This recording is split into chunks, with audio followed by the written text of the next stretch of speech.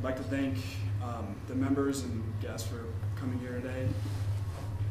Uh, first of all, I'm Chris Moberg. I'm one of the new 1L representatives. Um, I'm one of several in the class, so um, it's kind of one of my first times being here too.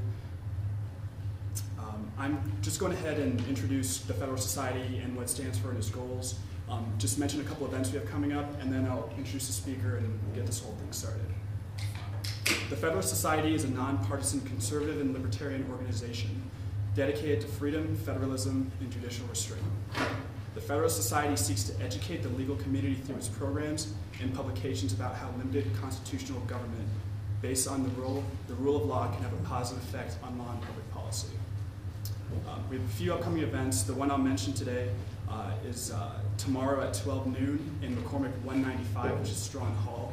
We have an Obamacare debate. It's between Ilya Shapiro and Andrew Koppelman, uh, just to give some feedback and context of what that discussion's about. So feel free to stop at uh, 12 noon there, and we'll be sending out an email regarding that if you have any questions. We have a couple more events, but um, I'll just say that we'll send out follow-up emails, and um, I just want to get uh, going with the speaker now.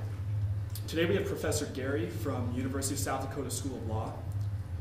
Professor Garry is the director of the Hagemann Center for Legal and Public Policy Research. He's the author of numer numerous books, including Conservatism Redefined, A Creed for the Poor and Disadvantaged. So, without further ado, please join me in welcoming Professor Garry.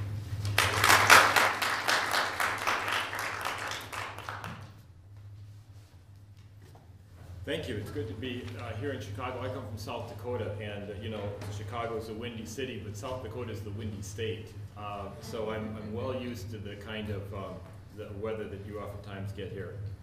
Uh, as Chris mentioned, uh, I authored a book called Conservatism Redefined.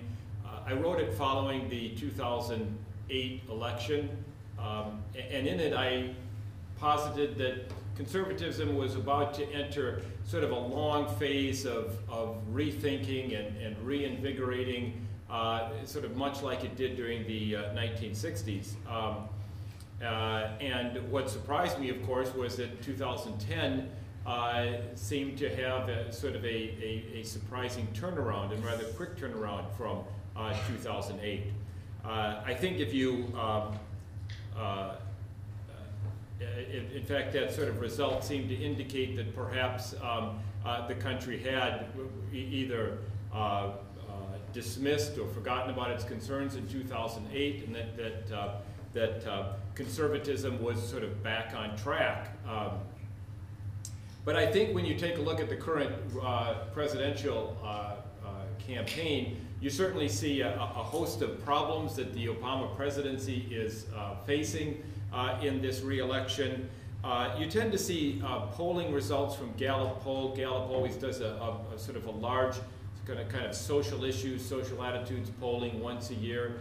And in that, in the most recent uh, polling that Gallup did, really shows that the public uh, on, on, on many sort of social type of issues tends to favor the conservative line by a rather significant uh, margin. Uh, and then, of course, you had the, the uh, really significant Republican victories back in 2010. So if you put all that together, you kind of wonder, you know, why isn't, in this case, the Republican challenger doing so much better against the incumbent um, uh, than the race currently uh, stands?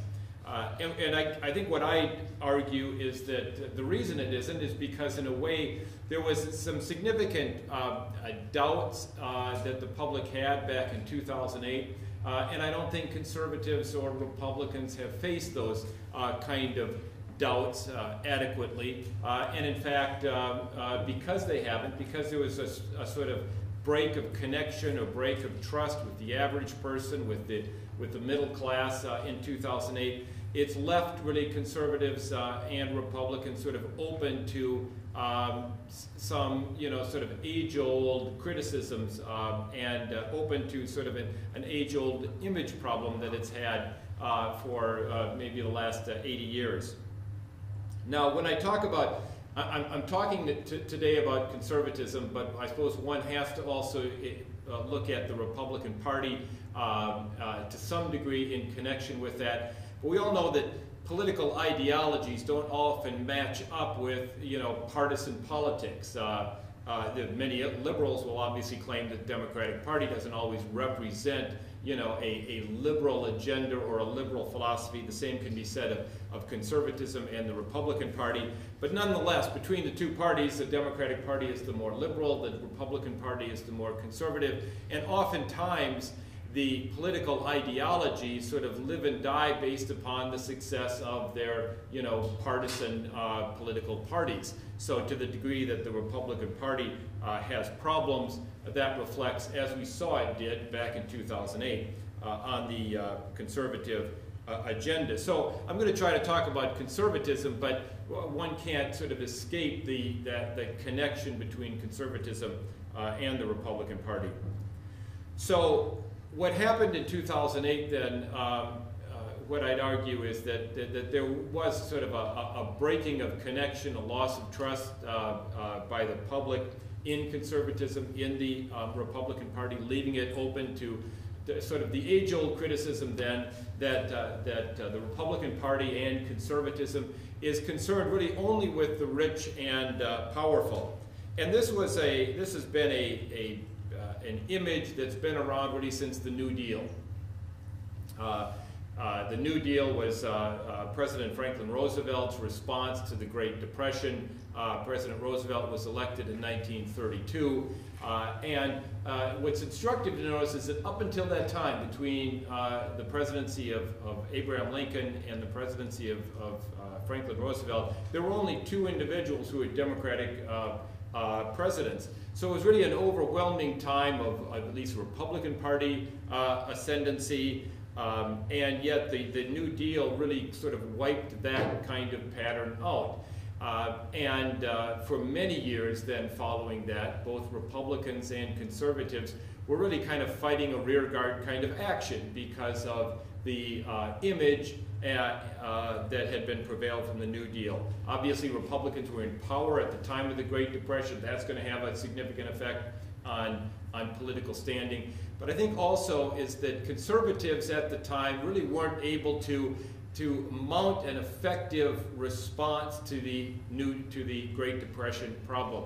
Much of their arguments based upon structural matters about what about what the society and economy, uh, how it would work out sort of if left alone, uh, the dangers of too much government intervention.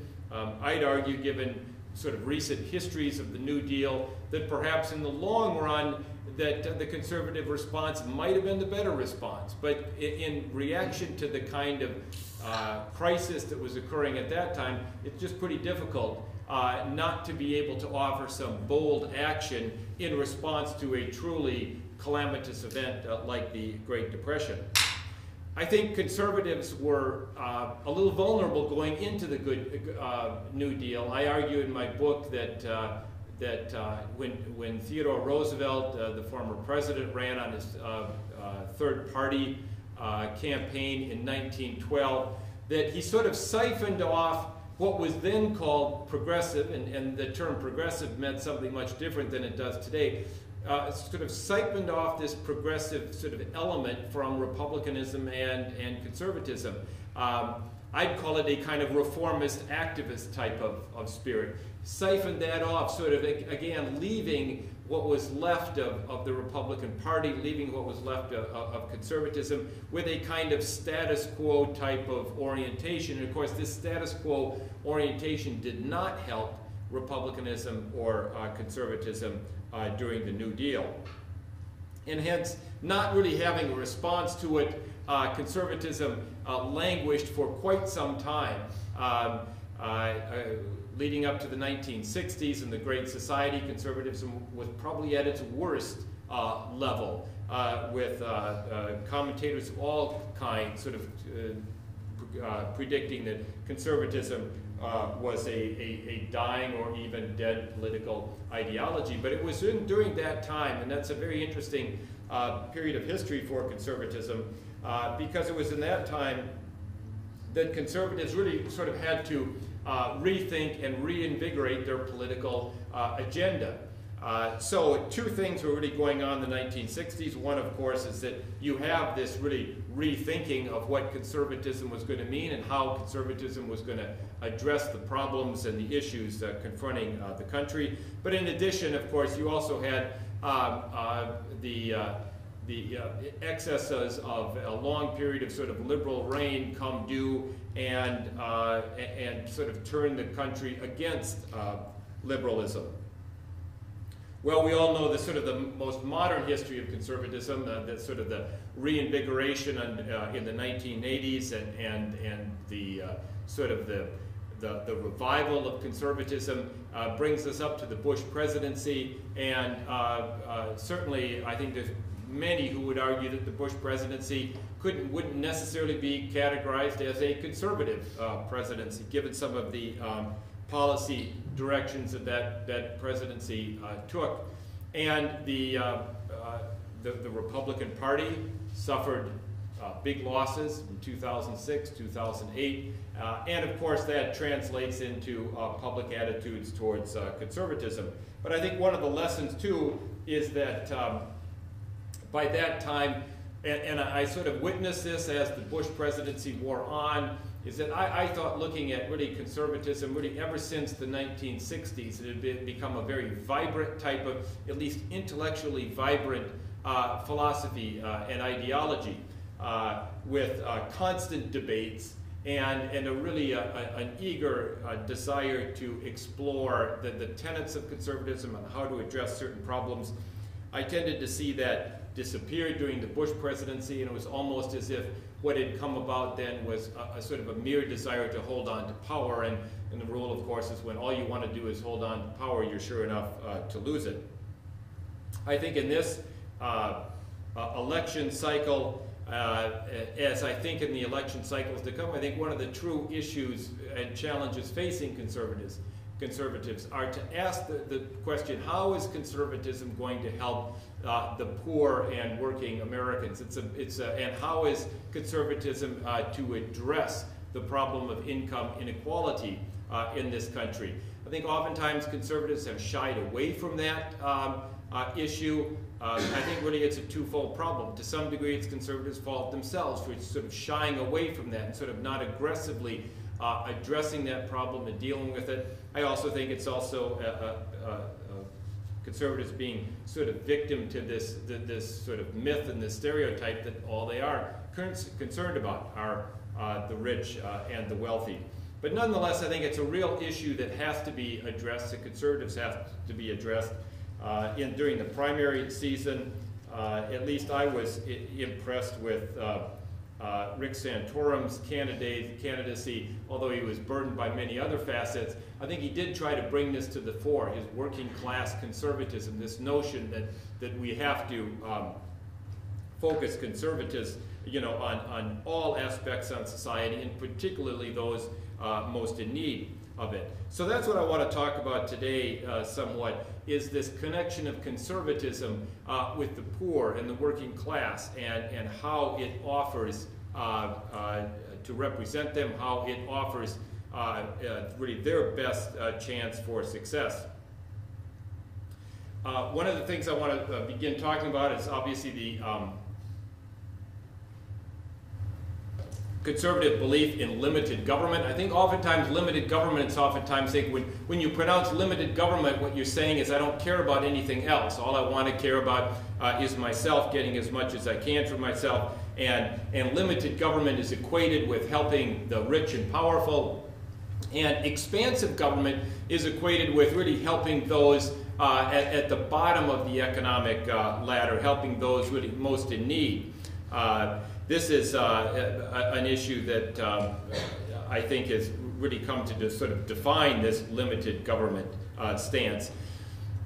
But we're obviously reaching a point of, of real crisis, I think, within our public sector, where we've built up such a debt culture. We've seen what, uh, what Europe uh, is doing um, uh, under uh, President Obama's uh, budget. If, if we forecast that out over the next 10 years, in 10 years, we'll be paying more in terms of interest payments than we do on Social Security right now. This is a problem. There's no question that it's a problem. And I think, in a way, conservatives are poised to address this problem, or perhaps much as Democrats or liberals were poised to address the problems of the New Deal. Um, at that point, they were sort of equipped and ready to handle this crisis. I think just in this way that conservatives are equipped and ready to handle this kind of, of crisis now. Uh, in fact, uh, uh, on this particular issue, it's I think it's the liberal stance that tends to be sort of, if you call it, the regime stance, uh, the, the status quo, the defending um, uh, of the regime in power. And conservatives are the reformist uh, uh, party here, the ones that looking for ways in which to address this uh, problem. And, uh, and not only to address this problem, to, but to alleviate the, the, crisis that is looming forward to it.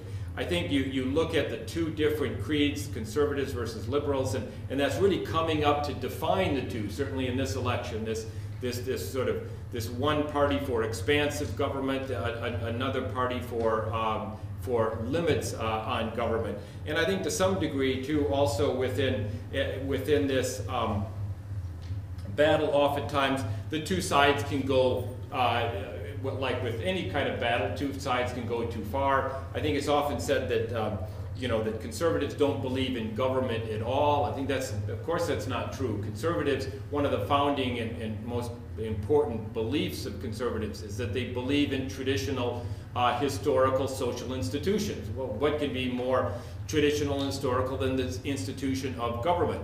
Uh, conservatives believe in strong government as provided for in the Constitution, but what they do is they believe in a, a government strong in, in those functions in which it is empowered to, uh, to perform, those functions in, in which it is best uh, able to perform.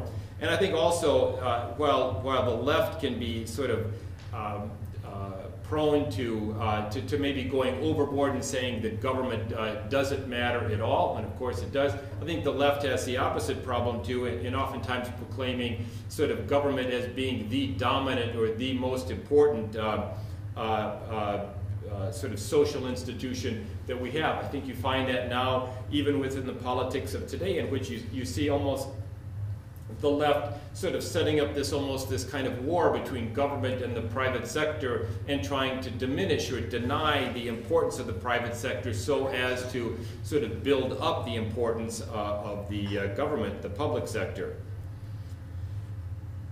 I'd argue, uh, uh contrary to the uh, prevailing notion. I think that limited government is something that aids uh, the poor. Uh, that uh, that by proposing limited government, you propose conditions that are going to help the situation uh, of the poor.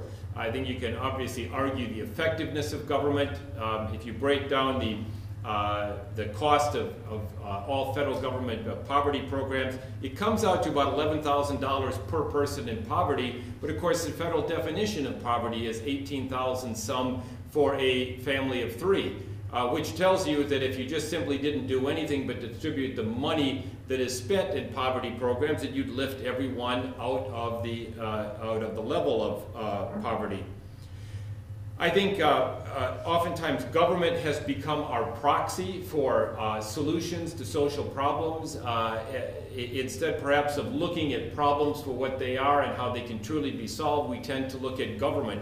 And, and we tend to see that if there is more spending in government, perhaps, or if government is becoming more involved in a problem than it was before, then we're in fact addressing that problem. Uh, and the problem is becoming better. I think that's a prominent sort of uh, misconception we're falling into in terms of thinking that, that expansive government then is automatically something that's going to help uh, the poor uh, rather than looking at actually what is going on with and what actually can be done uh, in terms of helping the poor. I think government programs uh, uh, oftentimes focus on status uh, rather than on dynamics or future dynamics, rather than on future possibilities. Government is built, is, is, is set up to, to look at status. One qualifies for government programs in certain ways because of particular status.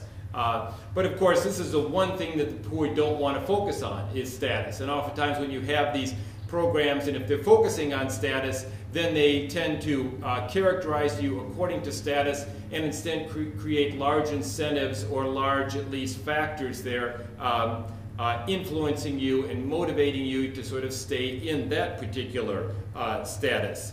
Uh, and uh, uh, focusing in, in, a sense on the status quo rather than on changing the status quo. Now, there's no question that I think government does a good job, or at least perhaps better than any other institution, in providing safety nets. But I think it's important for us to distinguish safety nets uh, which ought to catch people uh, from falling and ought to provide a way of sustaining them. But then there has to be a redirection towards then getting them out of that particular situation and helping them, helping them move on and helping them move on to a status uh, in life that they uh, that they'd like to achieve. And on this particular instance, I think government does a rather poor job. Uh, that oftentimes many of our social uh, institutions, are, many of the intermediary institutions in society do a much better in terms of focusing and being more flexible and sort of helping people move up uh, and giving them more of a dynamism. Government, I think, also it tends to be, uh, although it, it, it, can do a good job in, in, providing a safety net, we count on it to provide a safety net. Uh, in some ways, I think it's unreliable as a real sort of helper to the poor. And, and in this degree, I think uh, the, the left's own arguments oftentimes work against it. Um, we argue in our society, the left argues that the poor doesn't have any power that they're not only impoverished economically, but politically as well. And yet somehow then we're going to rely on government, which is run by politics, democratic government, which is influenced by politics, to be able to sort of be the savior uh, of the poor. And I think that uh, it is inherently contradictory in terms of looking at a, a group that is politically uh, impoverished to a group that's somehow going to be able to uh, uh, um, sort of receive the benefits of this political type of, of machinery. Uh, I'd argue uh, that, the, that uh, government and expansive government and big government oftentimes represents and responds to big entities of power. Um, uh, big business uh, is, is helped more by big business by big government than is small business. Uh, the bigness of, of government uh, works in connection with the bigness of these uh, particular entities because big government responds to big political power. I think government programs oftentimes have become hijacked then by groups. You see that oftentimes uh, in, in terms of, we talk about it now in terms of crony capitalism, but you see that in terms of, of bailouts frequently uh, to think that the, somehow the poor is going to get bailed out, that never really happens. It's, it's the more powerful entities in society that ends up getting bailed out. Uh, those societies are end up able to sort of corral the political power to be able to motivate government uh, to help them. Uh, a Congressional Budget Office survey uh, found that over the last 30 years, transfers to the poor have actually declined from 50% down to 30%. So, so the poor are really getting less of a share of these transfers. The middle class and upper class are getting more of their shares of transfer. To me, that makes sense. To me, that makes sense that the people with the more political power end up getting more from uh, government itself. Uh, and I think also that government failures have, uh, uh, uh in terms, have their worst consequences on the poor. Uh, the recent housing crisis uh, which uh, uh, many economists argue, obviously many don't, but many argue that they, they were as a result of government programs requiring um, uh, mortgage to, give, to be given, uh, higher mortgages to be given by people that are less able to, to pay for them and who's ultimately, although the government programs were meant to help the poor. Who did they end up hurting most? Well, I'd argue that they end up hurting most was the poor because they ended up losing their home, not only losing their home um, because of the catastrophe, but, but because to the degree that that economic uh, crisis then uh, uh, affected the, uh, the uh, economy, then lost their jobs and suffered uh, politically or economically a lot more so than did the middle class or the more wealthy. One of the things that uh, conservatism uh, uh, promotes uh, with respect to the notion of change And conservatism does believe in change, but it believes in a different kind of change than does liberalism. The change that conservatives believe in is a change that's directed by the past. Oftentimes, the, the, the, difference really between change in terms of the mindset of conservatism and liberalism is that liberalism will, will envision change from a kind of utopian future, from how we would like the future to be, perhaps disconnected from the past. The conservatives believe in a change that's directed and consistent with the past. And I think in many respects, you see um, uh, instances which uh, clearly just, uh, uh, there's been times when conservatives perhaps have been too blinded by the past, um, uh, which has inhibited them from moving forward with necessary changes. But I think what we lose track of in terms of the liberal uh, prescriptions for change uh, is that rapid change, sort of untested change, change that isn't in accordance with our, our historical practices and institutions, really end up hurting the poor the most. One of the things I, I, I think about uh, as a good example of that is that all across the country during the 1960s there was the experiment with high-rise uh, uh, urban public housing. Um, and they were built up, and we don't see that. You don't, you, you don't see the, that housing at all anymore because it ended up to have a disastrous effect uh, on the people uh, who lived there in, in terms of putting uh, uh, uh young families, uh, single parent families, children into the same sort of crowded conditions Uh, with, uh, with uh, uh, uh, violent uh, criminals, with drug dealers. It was not something that ended up being helpful to the people who were living there. I think likewise we're seeing this already in, in, in the Dodd-Frank bill in terms of the reform of, of, financial services. It's a good idea to reform financial services industry when we've just had a kind of banking crisis that led to the second worst economic uh, downturn in the last century.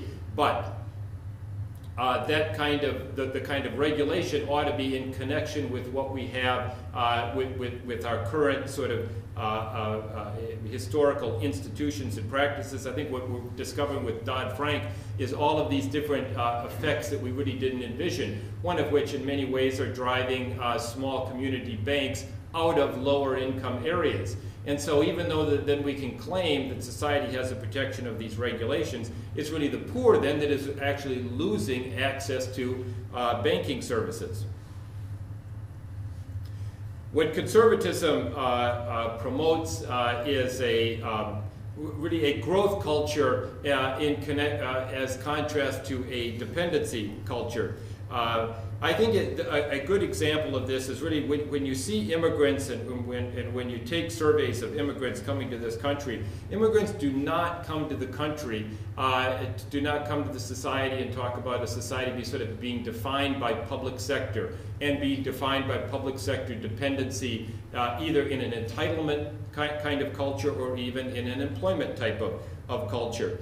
And I think we've never seen a society really that, that uh, in the history of, of, the, of the world that's been able to provide a dynamic growth culture if it's dominated by a, a, and largely influenced by the public sector. It's the private sector that promotes and provides for this kind of dynamism. And of course, it's the poor that needs that kind of dynamism. Um, uh, neither the poor nor immigrants set out to sort of say we want to sort of solidify ourselves in the status quo. They're the ones who most want uh, a, a, type of change and a type of dynamism. It's really the rich and the wealthy, uh, people like Warren Buffett, who want the status quo. That's what they, uh, they, they want that because really for them there's really only one way to go in life and it's not up. They're already up.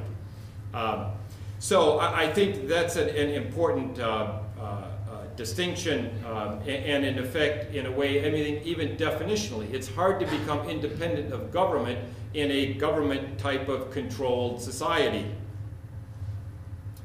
Uh, in terms of, uh, I think, empowering uh, uh individuals to, uh, to uh, become free of government, to be able to become independent enough to define their own future and condition in life, uh, take, for instance, in the, uh, in the realm of education. And I think this is another good way of, of, illustrating the fact that so oftentimes we look at government as proxy.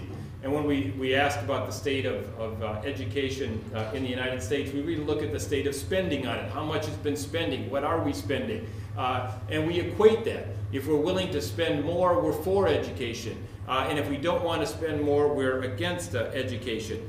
But really, I think in a way, this turns out to be sort of a false indication of the state of education, as well as almost a, a sort of a a, a, commitment, just a rigid commitment to the government as educator, again, without looking at the actual state of, of education. I think in terms of notions of, of, of freedom and opportunity and of trying to give the poor the same type of, of opportunity as do wealthier uh, individuals, I think uh, conservative prescriptions, for instance, for voucher programs really fit into that in terms of letting people and allowing people and empowering people to get the education that they want uh, and they and they choose.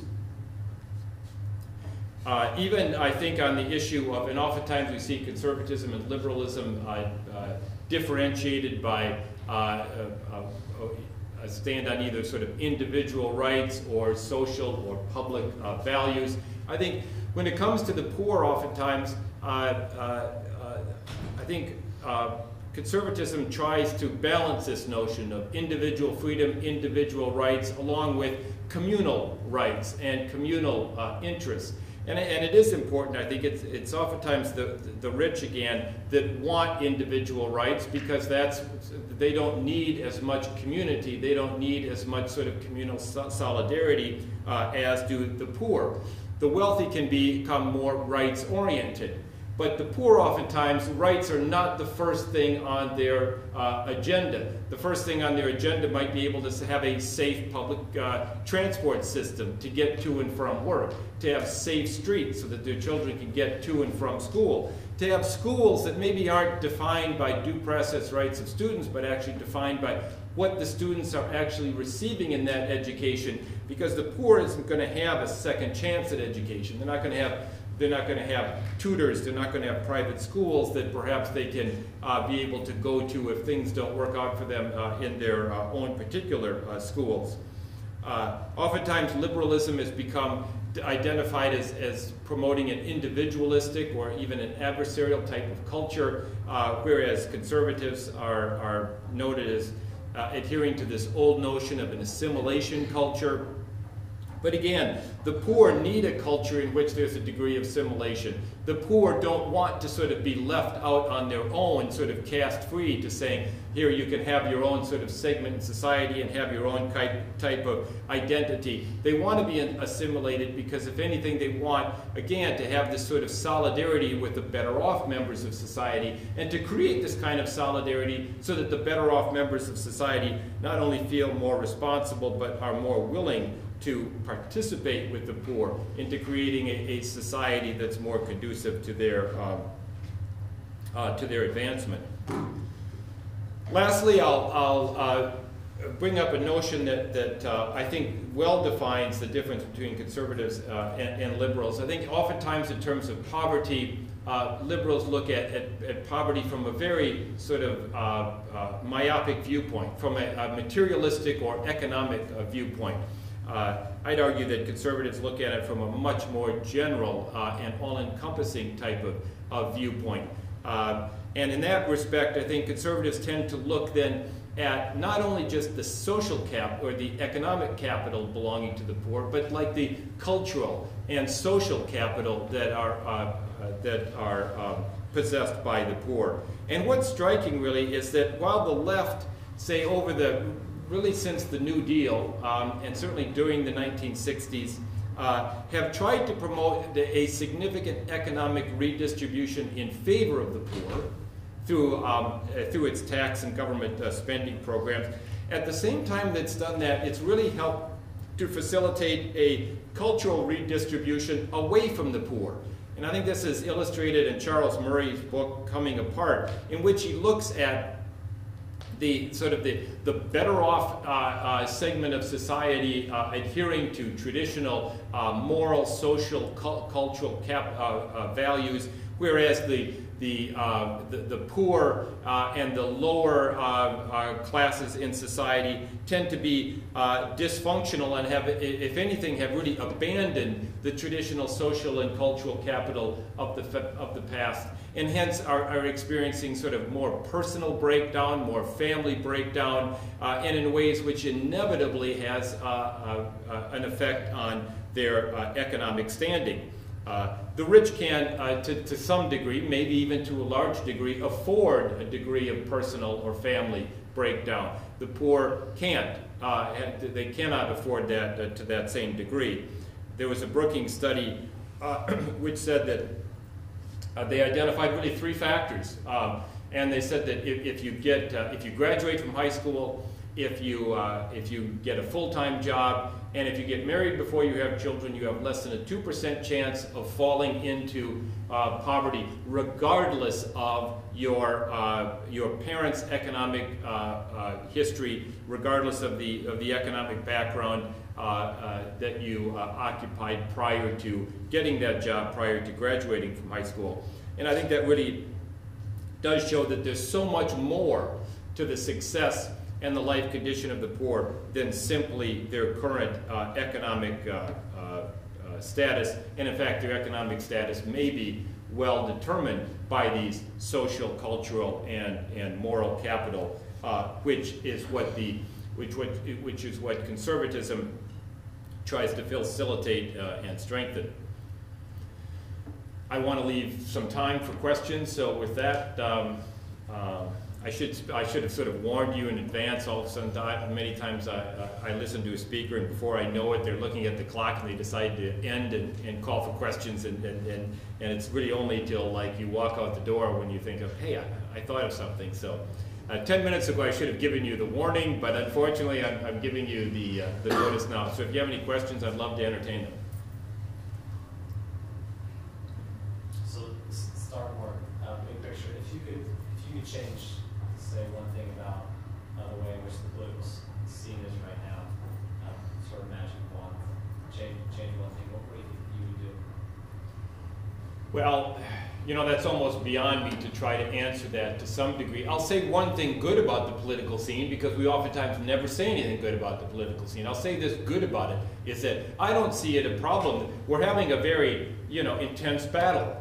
Uh, and, and, some, uh, and many people say we're very divided you know, I think it's, it's bad to be divided as a society along social and cultural grounds. I don't think it's so bad to be divided on political grounds. And when you look back at the, on uh, America's political history, you find a lot of instances in the past in which politics has been much more mean-spirited, if you will, much more divisive. Uh, and that's sort of the nature of it. So I'm not particularly, uh, you, you know, I'm not particularly worried uh, in that instance. I think the, the, vibrant politics is also a sign of a, of a healthy society. Uh, again, it's, uh, we, we, we have to have a certain level of, of unity, I think, on a social and cultural uh, ground. But um, uh, in, in, that respect, uh, you know, I don't think it's as worrisome oftentimes. We, the, many people sort of decried Congress's grappling with the uh, the debt limit. Um, and how they, they, took it right up to the very end before you know reaching some kind of compromise. Uh, you know, again, I mean that's how politics works. Actually, that's how most people work.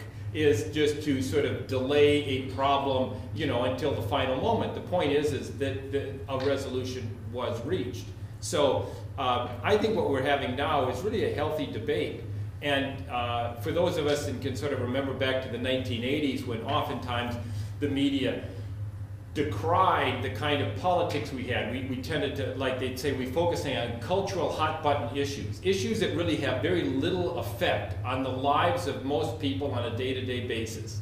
Uh, but you can't say that about now. I think you can't say that about the elections of 2010. We are really debating some very prominent political and constitutional issues. The notion of limited government, uh, notions of, of federalism, really things in our Constitution that, um, that uh, uh, uh, you know, are, are, structural, things that you don't oftentimes think of defining a political campaign. You think of political campaigns being defined by issues that bring out a lot of passion. So I think those are all good things. So what would I do uh, to change to some degree? I, I guess I'd focus. I guess I'd focus um, more so on on um, on conservatives. Uh, if anything, I, I guess I'd, I'd focus on the different parties trying to be perhaps truer to you know maybe their core beliefs. Uh, uh, perhaps uh, I'd, I'd, focus on, on liberals being being closer to what I think their beliefs are are ranging from in terms of a more sort of like public sector oriented society uh, and economy. And at the same time, I'd, I'd have a criticism for fellow conservatives really is that I, I, think they really do need to start. And, and maybe they're not doing it now but but they do need to sort of become much more uh, I think aggressive towards uh, reaching out to and reaching their message out to the uh, to the poor and the working class. And and and uh, uh, I don't think the middle class and they try to do that but I think they need to do that. And I think if anything perhaps they have become sort of shell shocked about that because they feel as if they're always going, they're, they're sort of always on the defensive uh, in that respect. I think they need to be far more uh, aggressive about it, and they really need to sort of change the dialogue to some degree on that. That was a very long winded answer to your question. I'm not sure how responsive it is, but uh, yes. You, you talked about uh, the unintended consequences of the Dodd Frank Act in relation to how that's affecting financing options, banking options for the poor. Uh, if you were to reform that uh, in a way uh, that would give better options, what, what would that look like? Yeah, I couldn't, you know, that's kind of like I'm very critical of Obamacare, and luckily after this last debate, I can say Obamacare. I don't like to sound disrespectful, but since the president likes that term good, it's, it's a lot easier than always talking about the actual legislation itself. You know, it's not something I can tell you now in terms of what I would promote as a um, as a regulatory scheme. I think there's a lot of problems in it, and I think in, if, if in any way what, what our politics tend to do is when we have a problem, we rush to have government solve it.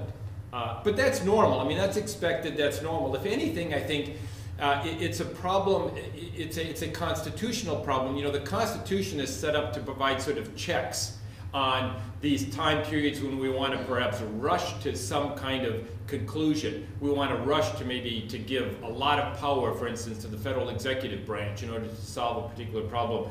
It, it, these, these kinds of checks. The more that, that we've diluted those kinds of checks, the more that naturally I think we as a society, when a problem occurs, we, we, we rush to a conclusion. Uh, I think in many respects the answer to the Dodd-Frank bill is, is a sort of a more structural concern, like you know, yes, there was a problem. Um, but when you look at how fast sort of the problem was sort of resolved through that process, I don't think we could have begun to really understand the intricacies of everything that was involved. So it's difficult in a um, uh, it's difficult in a uh, in, in a democracy to sort of hold back during times of crisis. But it's also, I think, I'd argue, when you look back at the New Deal, you know, we didn't hold back in times of crisis, and uh, and I can perfectly understand that, but we should have. And if we would have held back, perhaps we wouldn't have sort of been left with the, the legacy that we now have that's that's uh, that's evolved from that. So, uh, you know, what would I have done from a Dodd Frank perspective? I think, but again, this was coming at a time when the Republican Party was weak, conservatism was weak, but conservatives and Republicans have to be able to uh, offer some kind of alternative for the public, some kind of roadmap for them to go. And it really wasn't. Now, I think Dodd Frank was a mistake, but there was no other sort of alternative sort of laid out in terms of here's the problem. And I'm also a little unsympathetic, you know, to private business who, who that argues don't regulate us. Well, if they make mistakes to a large, if they make the kind of mistakes that we saw made in the financial services sector, one can hardly, you know, uh, sort of entertain their call to, you know, leave us alone.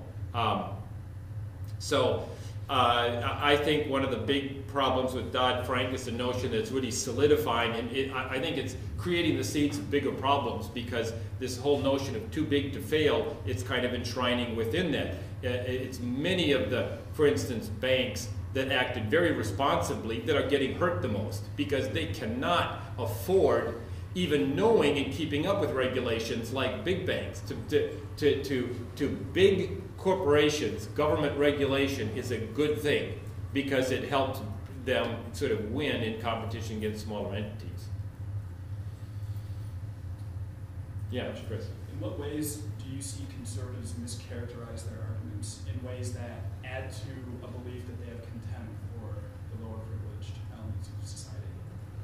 Well, I think it, one way they don't do it is I think that ought to always be a starting point. You know, I just think that ought to be a starting point for the, the argument. You know, you know, how is it that um, how is it that our policies then are going to help someone uh, help someone who's uh, uh, currently without a job, uh, maybe without many prospects of a job, maybe uh, who comes from sort of a, a history of poverty. How are we going to help them out? You know, how are we going to help them thrive? How, how what are we going to do about um, uh, how are our prescriptions going to uh, um, help this and, and, and minimize the, the disparity in income inequality?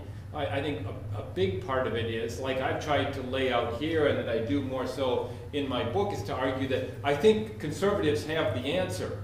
They're just after so many decades of not giving the answer and of so many decades of sort of being uh, accused of being concerned only with the rich and powerful that, um, that they just, uh, you know, sort of aren't making that argument. And I think, too, the more that they shift their lens to the working class, the lower working class, the poor, uh, the more that they're going to be able to, you know, uh, uh, come up with better policies. But they have to. I mean, that's, it's, it's not a situation in which, you know, conservatives either should or should want to represent only those people who have kind of made it. You want to protect the people who have made it, and you also want to create the conditions in which people can make it. Yeah. Um, so you talked about education being kind of one of the pillars that helps people pull themselves up from poverty. What would what would your ideal education reform look like? Well, I mean, I, am a believer in vouchers, for instance. Um, because I, don't know that I would, I, am hesitant to come up again, sort of being a conservative, I'm hesitant to come up with again with a law that's going to uh, take care of everything. What I'd like to be able to do is equalize opportunity, give people the same opportunity.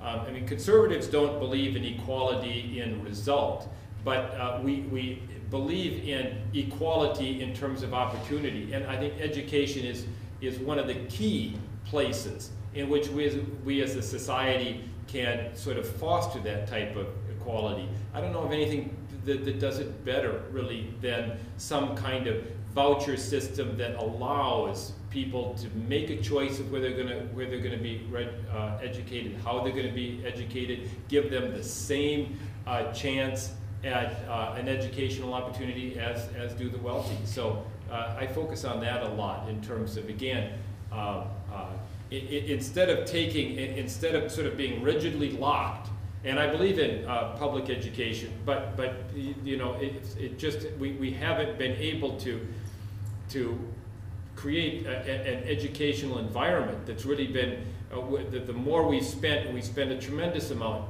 on it. We haven't seemed to make progress uh, in the actual you know education parameters. Yes. In regards to public housing, for example, I know you mentioned that the high-rise co-ops didn't work very well. I know and in St. Louis, I mean, Green here in Chicago, um, were demolished over the last, you know, two decades or so.